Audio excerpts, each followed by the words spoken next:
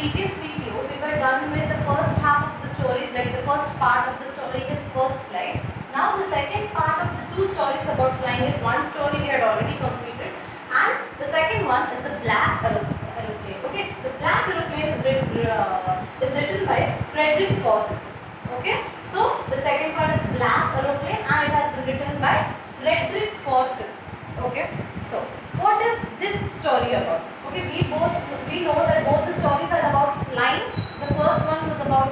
bird now what is this story so this story is about a pilot okay a pilot who feels happy because he is going to meet his parents and spend a happy time with his parents okay so this story is about a pilot जो अपने parents के साथ मिलने जाने के लिए उनके साथ फैमिली टाइम बिताने के लिए he is suppose to be happy okay तो क्या होता है it's about a pilot okay he is flying from Paris to London where is it flying from is flying from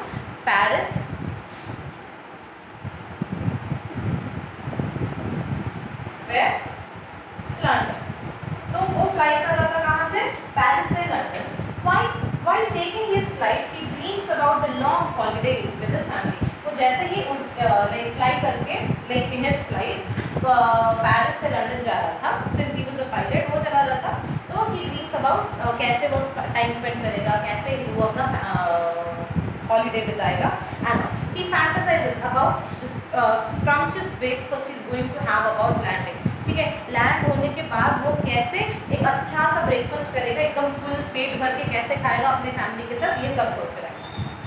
ठीक है तो as soon as he crosses Paris तो जैसे ही पेरिस क्रॉस करता है he gets a look of the dark clouds that were coming as a sign of a storm तो जैसे ही पेरिस क्रॉस करता है वो देखता है कि एक स्टॉर्म आ रहा है डार्क क्लाउड्स फॉर्म हुआ है वहाँ पे, और स्टॉर्म आ रहा है ठीक है?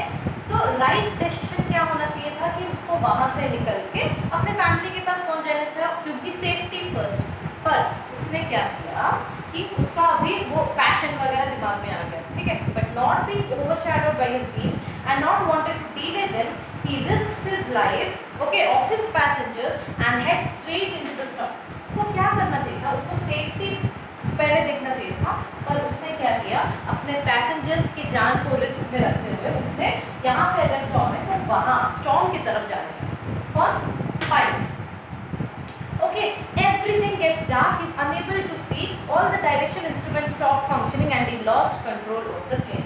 जैसे वो वो स्टॉम के पास गया okay all the direction instrument stop functioning ठीक है? उसको कुछ दिखाई नहीं दे रहा था, क्योंकि वो स्टॉम था ओके एंड पायलट को प्लेन का कंट्रोल छूट गया। और he like the plane was not in control anymore okay then what happened okay, he when he lost all hope. He saw another plane, whose pilot was more willing to rescue them. Okay, so जैसे ही वो अपना सब, क्योंकि सब कुछ खत्म हो चुका था almost he was like about to give up तब उसने क्या किया? एक दूसरे पायलट को देखा, ठीक है?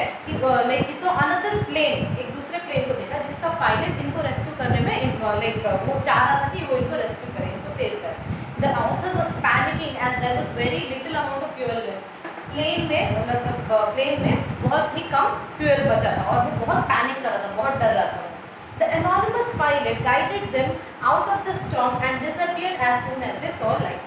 ठीक है? तो जो anonymous pilot था, who is an anonymous pilot? जो दूसरे प्लेन का जो पायलट था, वो क्योंकि उसका पता पता कुछ है नहीं, इसीलिए we are referring to as pilot तो anonymous pilot guided the pilot ठीक है, यहाँ से जाओ, ऐसे लो ऐसे लो डायरेक्शन लो, और जैसे ही वो लोग उस स्टॉम से बाहर आए, वो पायलट गायब हो गया ठीक है upon landing when he ask the lady in the control room about the other pilot he is left in shock when she says that he was the only plane in the sky जब वो land किया, वो उसको पता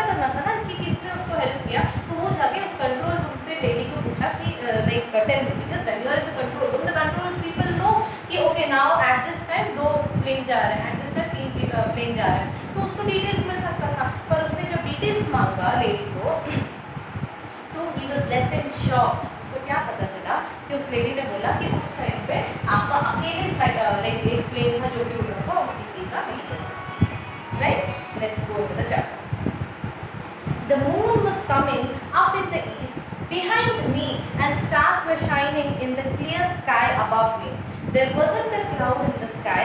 I was happy to be alone, high up above the sleeping countryside. I was flying my old Dakota aeroplane. Dakota मतलब private मतलब जो aeroplane private aeroplane okay over France back to England over France back to England. I was dreaming of my holiday and looking forward to being with my family. I looked at my watch 1:30 in the morning. Paragraph is self-explanatory. क्या बोलता है कि रात का time था sky एकदम clear था। Stars भी दिख रहे थे। कुछ नहीं था। एकदम क्लियर था सब कुछ। The pilot felt fees above country वो पेरिस से लंदन जा रहा था। मतलब फ्रांस से इंग्लैंड जाने का सोच रहा था, क्योंकि उनकी फैमिली इंग्लैंड में है। ठीक है? कितना हो रहा था?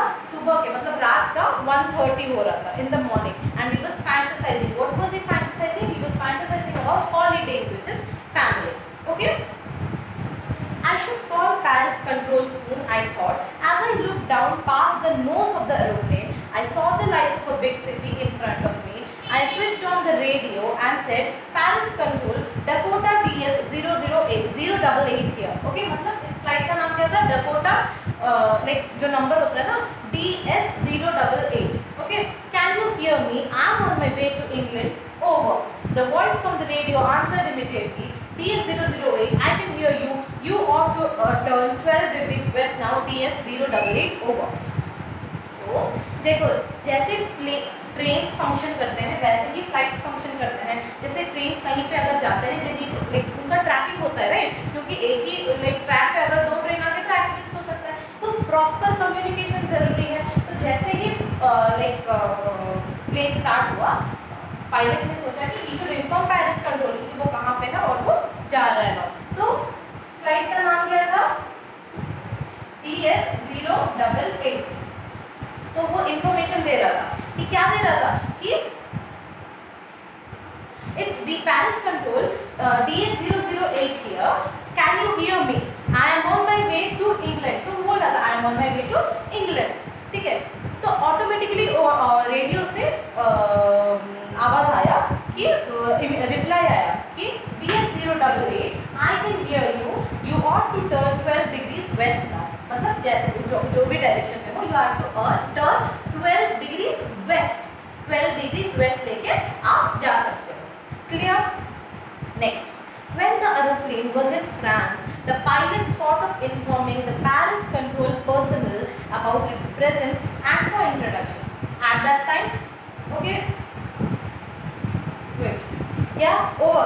This paragraph is over. Next, I checked the map and the compass, switched over to my second and last fuel tank, and turned the Dakota 12 degrees towards west towards England. It, I will be in time for breakfast. I thought a good big English breakfast. Everything was going well. It was an easy flight. ठीक है तो ये यहाँ पे pilot बोल रहा है कि जो इंस्ट्रक्शंस मेरे को मिले उसने आ, उसको फॉलो किया पायलट ने क्या किया जो लास्ट फ्यूएल टैंक पे था देख ऑलमोस्ट अभी हो चुका था तो उसके लास्ट फ्यूएल टैंक पे था, उसने जो डायरेक्शन दिया ट्वेल्व डिग्री वेस्ट पे वो ले लिया, ठीक है? और वो क्या, अपना मस्त हॉलीडे फैंटसाइज कर रहा था कि मैं कल ब्रेकफास्ट तक तो पहुँच जाऊँगा by the time of breakfast I will reach the end and have a good some just English breakfast ठीक है? मैं बहुत अच्छा बड़ा सा इंग्लिश ब्रेकफास्ट एंजॉय करूँगा अपने फैमिली के साथ। Okay okay. he was calm. Why? Because everything was going as planned. Okay, next. Paris was about 150 kilometers behind me when I saw the clouds. मतलब वो 150 kilometers आ चुका था already. ठीक है तब उसने क्या storm clouds देखा वहाँ ओके दे वर ह्यूज बहुत बड़े बड़े storms थे वहाँ पे they look like black mountain standing in front of me across the sky ठीक है तो कैसे थे how does the uh, uh, pilot describe them? They were standing as Black mountains, huge mountains in front of me. ठीक है I knew I could not fly up and over them. Okay, mountains बड़े बड़े mountains जैसे बन चुके थे वो clouds इतने मतलब डेंस क्लाउड्स थे। उसको पता था कि मैं वो उसके ऊपर से तो जा नहीं सकता और उसके थ्रू से तो जा नहीं सकता। ओके सो so, और उसका नॉर्थ और साउथ जाने के लिए उसके पत्ते को। This is the flight okay this is the flight okay this is the flight उसके सामने, ऐसा माउंटेन था। तो ठीक है this is the not mountain ये स्टॉर्म्स था। ठीक है फाइन तो इतने घने बादल थे, इतना बुरा स्टॉर्म था यहाँ पे, कि वो उसके ऊपर से, देखो, वो उसके ऊपर से नहीं जा सकता, ठीक है, उसके बीच से नहीं जा सकता, और उसके पास इतना फ्यूअल नहीं था कि वो उसके नॉर्थ से जाए मतलब उसके नॉर्थ से जाए, या उसके साउथ से जाए। दैट वाज द कंडीशन ठीक है I ought to go back to Paris. I uh, thought, but I wanted to get home. I wanted the breakfast. I will take the risk, I thought, and flew that old uh, Dakota straight into the storm. Actually, उस time पे उसको क्या करना चाहिए था? He should go back to Paris क्योंकि उसको अकेला नहीं है ना, उसके passengers भी थे, तो he should not risk his passengers' life. तो उसको उस टाइम पे पेरिस वापस चले जाना था बट वो उसने सोचा कि नहीं but I want the English breakfast मेरे को अपने पेरेंट्स से मिलना है फैमिली को मिलना है तो उसने क्या डिसाइड किया कि मैं स्ट्रॉन्ग के थ्रू से जाऊँगा? That was not the big good decision ठीक है? मैंने इंट्रोडक्शन में बोला कि इंस्पाइट ऑफ़ लाइक उसको क्या करना चाहिए था he should have gone back to Paris and chosen safety first और उसने ये चूज़ किया ये decision Now the plane had crossed Paris when he started seeing clouds in the sky. The presence of the clouds made it unsafe to travel by air because there were chances of storm. Okay, they were the pilot compared them to black mountains. Okay, I told you. हो गया. Next क्या होता है? Inside the storm, everything was suddenly black. When he went, like he wanted to pass through the storm. Inside the storm, everything was black. It was impossible to see anything outside the aeroplane. Aeroplane को जो कांच के बाहर से कुछ नहीं दिख रहा okay the old aeroplane jump jump and twisted in the air इतना स्ट्रॉन्ग था कि वो एरोप्लेन ट्विस्ट कर रहा था और जंप कर रहा था एयर में I looked at the compass. I couldn't believe my eyes. The compass was turning round and round and round. It was dead. ठीक है? वो अपने सारे इंस्ट्रूमेंट्स चेक कर रहा था। कोई इंस्ट्रूमेंट काम नहीं कर रहा था। Compass round and round and round घूम रहा था और वो मतलब वो देख के वो पागल हो गया। वो डर गया कि वो क्या रहा है? क्योंकि सारे इंस्ट्रूमेंट्स काम करना बंद कर चुके थे। It would not work the other instruments they suddenly dead I tried the radio तो बाकी इंस्ट्रूमेंट्स भी डेड हो चुके थे। तब उसने रेडियो ट्राई किया। पैरिस कंट्रोल hear me ठीक है? उसने try किया पे पैरिसमल को call करने के लिए। There was no answer. The radio was dead too. तो उसके पास रेडियो नहीं था तेरे उसके पास कॉम्पस नहीं था and I could not see where I was और उसको दिखाई भी नहीं दे रहा था कि वो कहाँ पे है। Okay I was lost in the storm then in the black out quite near me I saw another aeroplane ठीक है? वो स्टॉन्ग में पूरा घूम हो चुका था. ही कुड सी एनीथिंग तब ही he could see another plane coming to okay then what are i had no lights on its wings I could see it flying next to me through the storm. उसके wings पे कोई lights नहीं थे, but he could see it coming to uh, through the storm. I could see the pilot's face turn towards me. उसने देखा कि उस pilot का फेस इस तरफ़ मुड़ा ठीक है उसको देख रहा था was very glad to see another person he lifted one hand and wave to me उसने अपना एक हैंड उठा के मेरे को वेव किया follow me he was saying follow me he knows that I am lost I thought is trying to help तो उसने इसके तरफ़ वेव करके क्या बोला कि फॉलो मी फॉलो तो इसने सोचा या he is trying to help me okay then what happened he turned the aeroplane slowly towards the north in front of my Dakota so that he I would be easier for him to follow. तो उसने अपना plane क्या किया इस Dakota के सामने लाया ताकि it would be easier for the pilot to follow it उसके सामने रहेगा तो that would be easy to follow it right I was very happy to see the strange aeroplane like an obedient child. Okay, after half an hour, the strange black aeroplane was still there in front of me in the clouds. ठीक है वो half an hour तक उसके सामने ही था वो aeroplane he was guiding और वो उसके पीछे पीछे जा रहा था। Now there was only enough fuel in the old Dakotas last time to fly for 5 to 10 minutes Dakota में और कितना फ्यूल बचा था? और बस 5-10 मिनट के लिए चल सकता है डेकोटा उतना ही टाइम था। मतलब फ्यूल था फ्यूल था ऑयल था उसमें ठीक है? I was started to feel frightened again उसको वापस डर लगने लगा। Okay but he started to go down and I follow through the stop ठीक है? तो वो क्या एरोप्लेन नीचे जाने लगा तो वो उसको भी फॉलो करने लगा। Suddenly I came out of the clouds ठीक है? ये जो एरोप्लेन है डेकोटा है, वो स्ट्रॉन्ग के बाहर आया। ओके जो भी सीन था, अभी स्ट्रॉन्ग के अंदर था। अभी बाहर आ चुका है। Okay suddenly I came out of the clouds and I saw straight lines in front of me. It was a runway. तो जैसे ही आया उसको यहाँ पे two straight lines दिखी. Two straight lines क्या होता है? Runway होता है. यहाँ से fly करके aeroplane जा सकता है runway के through. Okay. And aero an airport I was safe. तो उसने क्या किया कि एक जैसे ही रन runway दिखा वो खुश हो गया कि चलो is a uh, airport there I am safe. Okay. I turned to look for my friend in the black aeroplane but the sky was empty. उसने मुड़ के वो ब्लैक एरो उसके फ्रेंड की तरफ़ देखने का कोशिश किया, वो जो ब्लैक एरोप्लेन में आ रहा था but it was the sky was empty उसको कोई प्लेन नहीं दिख रहा था। Was nothing there the black aeroplane was gone I could not see it anywhere okay कहीं दिख नहीं रहा था उसको। देन क्या हुआ? I landed and was not sorry to walk away from the old Dakota near the control tower तो वो फटाफट क्या किया कंट्रोल टावर के पास गया। I went and asked a lady ठीक है, उसने वहाँ की जो कंट्रोल वूमेन थी लाइक कंट्रोल रूम में एक वुमेन से पूछा कि I asked a woman in the control point where I was and who the other pilot उसने उसको पूछा कि मैं कहाँ पे हूँ? Like what is the location this here now and वो जो दूसरा वाला था, वो कहाँ लाइक एरोप्लेन था, वो कौन है? वो कहाँ गया?